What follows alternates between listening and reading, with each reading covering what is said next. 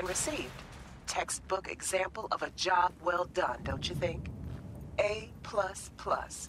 Contract closed.